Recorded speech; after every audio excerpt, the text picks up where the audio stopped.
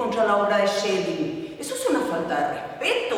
Y dijo lo mío en lo absoluto. Y utilizó sus mismas palabras sordamente. Entonces, discúlpeme, la actitud de Hegel no fue la más ética con un compañero. No se respiraba armonía en esa época en Alemania, ni menos en el pensamiento. Había una puja por el dominio de la verdad. Y eso no es ético. No me está usted interpretando que yo estoy haciendo una apología de Hegel o algo por el Espero que no lo esté haciendo, porque estamos en tiempos modernos, así sugeriría una postura un poco más acorde a los tiempos de información con los que vivimos, señor. En primer lugar, me reservo el derecho de citar al, al pensador que prefiera. Yo coincido con usted en este sentido con respecto a la gratitud en general de Occidente, pero eh, me parece que usted tortura mis palabras y me hace decir cosas que no dije, yo lo que estoy diciendo, como decía eh, un contemporáneo de Schopenhauer, lo que, estoy diciendo es en torno a la pregunta eh, de Raúl, eh, digamos, de esta influencia de la India que muy bien recoge Robert, hay un ambiente en el cual se forma Arthur Schopenhauer y es una puerta que Kant dejó abierta este interés por el orientalismo. Yo digo eso, de a cualquier apología de cualquier pensador contemporáneo, eh, bueno, no corre por mi cuenta. Igual no, no, me parece que fuera el centro de la discusión, ¿no? no, pero es interesante, sin duda. filosófica. Estamos hablando de pensadores que leen a pensadores, estamos hablando de interpretaciones. Las omisiones en la historia, señores, no son inocentes. Así que si alguien no le citó, debe haber alguna razón, pragmática, utilitaria. Sin duda, sin duda. Yo coincido plenamente. Bueno, eh, habría que hacer algunas precisiones hermenéuticas. Cuando Hegel dice que lo racional es lo real y lo real es racional, no está hablando de un racionalismo como tal sino de una búsqueda de comprender la realidad. Y la realidad es lo determinante, dialécticamente. ¿Por qué?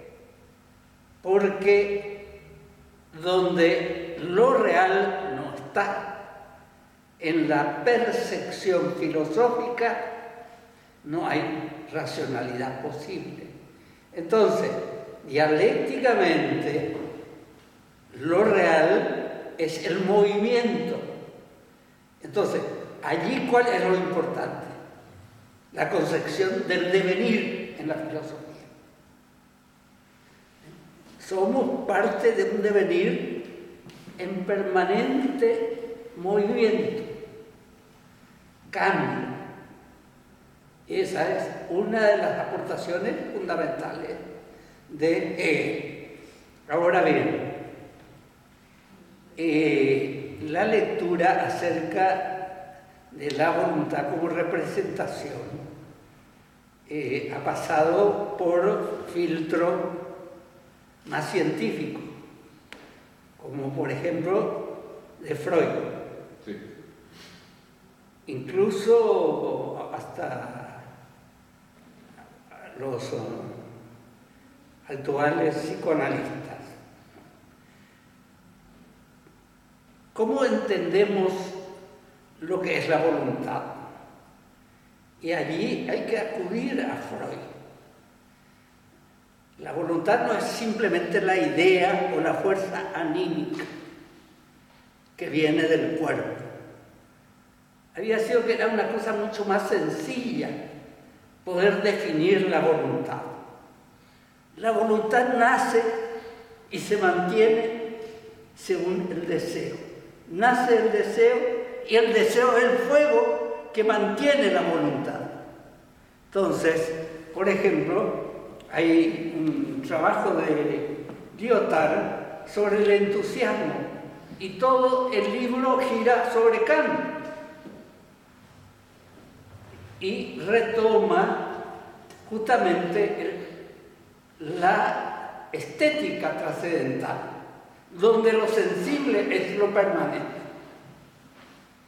Ahora bien, un poco respecto a Schopenhauer.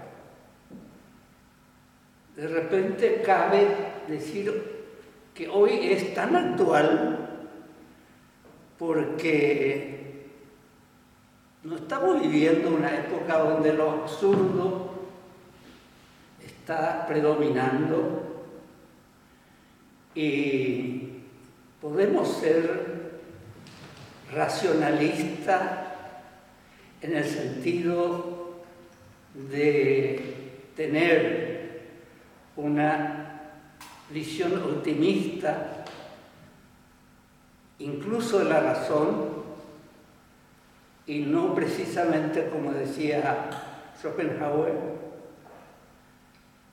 la negación de lo racional por un mundo donde el camino es una escarpada subida que nunca termina.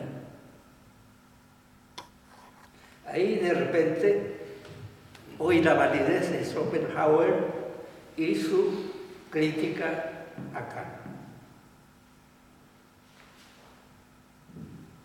Hay algo interesante de agregar, eh, como decía Freud eh, en su antiedipo, Gilles, eh, Deleuze y Félix Guattari, hablan un poco del deseo en torno a esto que explicabas de, del utilitarismo, que dice que somos máquinas deseantes, porque está construida esta repetición de una manera en la que el deseo trae dentro de sí misma, dentro de sí mismo implícita la carencia. Entonces, por eso es que hay sufrimiento, porque desear es tratar de llenar algo que, que ya está vacío en nosotros. Y ahí es como, como hablar un poco de alguna creencia también. Porque hay un constructo, porque si hablamos de razón, eh, hablamos de lenguaje. Sí. Eh, razón, si hablamos de intuición, tal vez podemos acercarnos un poco a la realidad. Entonces ahí es más interesante el, eh, la intuición eh, que traen y que tenían un poco, creo que los románticos no tenían. Claro que sí, hay una apuesta fuerte por, de, de, parte de los románticos por la intuición antes que por el pensamiento. Eso. Berson va a hablar muchísimo de eso Memoria, sí. es súper interesante y, y, y, los franceses también van a tomar esta parte y toman la estética mucho, es más, eh, vincula muchísimo la filosofía y el arte. Claro, porque el artista o el místico, antes que apelar, antes que nada al pensamiento, apela a la intuición. Por eso el artista a veces siente un gozo enorme que no puede explicar. Así que recurre al arte para expresarlo porque no puede explicarlo con un discurso filosófico. Ahora, los pensadores románticos de esa línea romántica, de alguna u otra manera, plantean que hay que hacer el intento de explicar eso que intuimos, utilizando el pensamiento. Entonces surge una filosofía con un perfil romántico, que hasta hoy persiste. A mí me parece que el postmodernismo es una manera actualizada de ese brote romántico que se dio a finales del siglo XVIII. Yo tengo una posición respecto al postmodernismo. Sí, te escucho. Como citó Raúl, respecto a Habermas, el posmodernismo es una posición políticamente conservadora. Ciertamente. Pero y, no, tiene nada de Desde ese punto de vista, incluso lleva a la filosofía actual a lo que Darío al comienzo habló, y yo diría a la opacidad de la filosofía.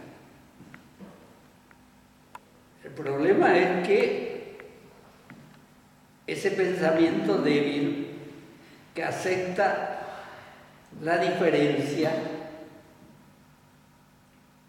hace una ruptura con la evolución de la ciencia. Y ahí hoy es fundamental la epistemología como aporte de la filosofía al conocimiento científico, como crítica, como representación y fundamentalmente como superación. quiero apelar a Foucault, quien consideró que especialmente las ciencias sociales han servido para dominar al ser humano, no para buscar la verdad científica. Ha servido como un instrumento de dominación, especialmente las ciencias humanas, sociales.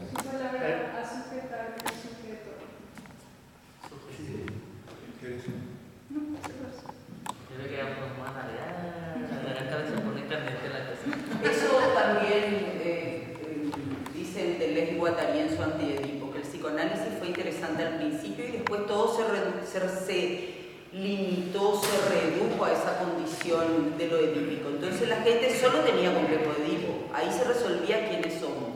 Entonces abren un poco el espectro, hay que abrir el debate. Para mí es importante, una filosofía interesante es la que pueda integrar. No podemos vivir de espaldas a orientes, son la mitad del mundo. Entonces el pensamiento que desarrollar... ¿Eh? Lacan supera eso. Jung, con la sombra, es muy interesante lo que hace Jung también. Cuando, porque toma el bardo Torol, Jung toma la sabiduría de Oriente y lo asume. Para un occidental es dificilísimo. Imagínense nosotros vemos un rito. Estamos llenos de sesgos, de eso es mente. Ahí está el pragmatismo y todas las instituciones, diría Foucault, haciendo su trabajo. Entonces nos hemos, yo no sé si evolucionamos, nos adaptamos. Esto es una adaptación, no una evolución. ¿Por, qué estamos retrocediendo, como dijo el profesor? Vuelven a lo romántico y porque no hay respuestas. Tal vez no sé si la ciencia es la respuesta o si lo científico como ha estado dado es su, su auge. Hay que cuestionar, como dice Popper, falsar las teorías de vez en cuando. La teoría. Eh, perdón, bueno, estoy viendo una mano titubeante. No sé si está levantando la mano o vos, compañera. No, no. En este, eh, acá, si me No sabía si me estaba pidiendo la palabra, por eso. Adelante. Uh, tenía una consulta. Creo que desde la antigüedad, en la ética de las virtudes y el desarrollo posterior del cristianismo, el sufrimiento no es un elemento necesariamente negativo. Y, sí, no es necesariamente algo negativo, sino incluso algo que puede servir para desarrollar cualidades positivas. Y en Kant es un elemento neutro. En el cumplimiento del deber uno sufre, porque no siempre está uh, implicado con lo que uno quiere hacer. Entonces, ahí existe una crítica que tenga Schopenhauer a la visión cristiana y kantiana del sufrimiento. Una crítica a la visión cristiana y kantiana del sufrimiento. Sí, porque no es necesariamente ni mala ni bueno, lo, que en la doctrina cristiana... Sí, sí, perdón. Sí, sí. ¿Por qué Schopenhauer cree que habría que acabar con el sufrimiento? O sea, incluso lo que él plantea es, no es que hay una fórmula para eliminar el sufrimiento. ¿Pero por qué habría No, pero ¿por qué no hay una fórmula para eliminar el sufrimiento? Si existiera una fórmula para eliminar el sufrimiento, ese sería el camino moral. Y la crítica que le hizo Nietzsche a Schopenhauer tiene que ver con eso. Para Nietzsche, lo que Schopenhauer llamó la negación de la voluntad de vivir tiene que ver con la moral. Y entonces Nietzsche conectó al pensamiento de Schopenhauer con toda la tradición de Occidente. Y dijo, y cuando Nietzsche dice Dios está muerto, está haciendo también una crítica indirecta a Schopenhauer y de todo su planteamiento que tiene que ver, según Nietzsche, con la negación de la voluntad de vivir interpretado en un sentido moral. Ahora, cuando Schopenhauer habla de mística, lo que sostiene es que la base del sufrimiento, que es la personalidad, el yo, el ego, el ego sencillamente desaparece. No es que se solucionó el problema del sufrimiento, desaparecieron las condiciones que hacían posible el sufrimiento. Los budistas dicen no identificarse con los, y ahí está el ego es pura identificación. Sí. Es como un precontrato con la realidad. Yo soy esto y debo de sostener eso a cualquier precio. Entonces, eso es interesante. Sí. El yo. O sea, no, no, hay manera racional de solucionar el problema del sufrimiento. No hay salida. No hay salida. Liberación de llama. Tienen usan meditación, pero, mantras. Pero eso es. Tienen voluntad. Pero no es algo mecánico. Lo que, lo que logra la, sea la meditación. No, no, pero no, no, disculpame, por favor, voy a sentir con algo. No tomen lo mecánico como algo tan banal. No, no. Somos casi hijos de la, de la repetición, ¿eh? El habla es repetición. O sea, ellos dicen que lo que hemos repetido nos, en este devenir nos lleva ahí. ¿Hay libre albedrío o no? No lo sé. Pero nosotros estamos eligiendo cosas y podemos repetir las acciones, que podría ser la voluntad de Schopenhauer, no sé, no me animaría a decir eso, como para desprogramarnos esas creencias que nos hacen sufrir. Entonces, pero, pero sea la meditación o la oración, no te va a asegurar eso que, que los orientales llaman liberación. No es algo calculable, no es algo mecánico. Simplemente se establecen las condiciones. Si pasa, pasa. Si no pasa, no pasa. no, no es azaroso tampoco, disculpen. No, pero no tiene que ver ni siquiera, no, no tiene que ver ni siquiera con el azar o el determinismo. Te explico. En el Bardo es un libro, el libro tibetano de los llaman así, ¿sabes? significa? Bardo significa estado intermedio. Siempre estamos hablando de la dualidad y hay un estado como una mandorla. Estamos en un estado intermedio. Eh, Torol significa liberación a través de la audición. La música no en balde nos produce ese goce estético tan importante del cual hablaron todos los filósofos, porque el sonido es vibración y la vibración es devenir. Entonces, un poco para entender eso. Entonces no es azaroso. Eh, a eso nomás voy. Sí existe un mecanismo, lo que no te garantiza es cuándo, no tiene momento y no tiene que ver con cómo está estructurada nuestra, nuestra, nuestro pensamiento occidental. Ahí- Es difícil para nosotros. Pero ahí la palabra clave. Nuestro El pensamiento tiempo, occidental. El tiempo está fuera del tiempo. Yo no puedo dominar eso que lo- los El orientales llaman. Y bueno, pero no puedo, no, no puedo manejarlo yo temporalmente, ni la meditación ni la oración. No puedo decir, No, yo ahora voy a meditar y me voy a liberar. No se trata de eso. Perdés la noción de tiempo, justamente porque el tiempo es una convención. Vos estás en esto que Bersón llamaría el momento, el presente, ya se fue. Ahí está el devenir, ahí está la ya se fue. No hay presente. Dije esto, ya dije. To- Entonces, un poco el tiempo es una convención y el cuerpo, la materia, es la que nos da esa noción con lo sensible. Pero hay otra cosa, llamémosle suprasensible, eh, no sé, miles de, de- de- puede ser eh, el asiento del alma, como diría Descartes, ¿verdad? Eh, con la que podemos conectar con eso. Pero para eso significa el silencio de otros ruidos. ¿Y por qué digo esto? Para hacer unidad. No sé quién dijo, uno de ustedes habló de volver a esta unidad, porque todo el tiempo nos estamos separando, dividiendo, capitalizando cada minuto, capitalizando cada minuto, y disculpen que diga esto, hoy día hay enfermedades mentales porque la gente ya, eh, estamos en ese mundo, esa es la modernidad. Entonces, perdón, el tiempo es una convención que hay que replantearse, y el tiempo es una cuestión absolutamente filosófica. Si somos efímeros, en teoría. Entonces, es, es parte del, del corpus de cuestionamiento de cualquier filosofía. Perdón, lo que quiero decir es que no es banal, profe, no es banal. Es importantísimo si, si rompiéramos con esa convención, que es lo que supongo plantea Schopenhauer, ¿qué pasaría? ¿Y cómo? Buena, buena. Yo no la sé.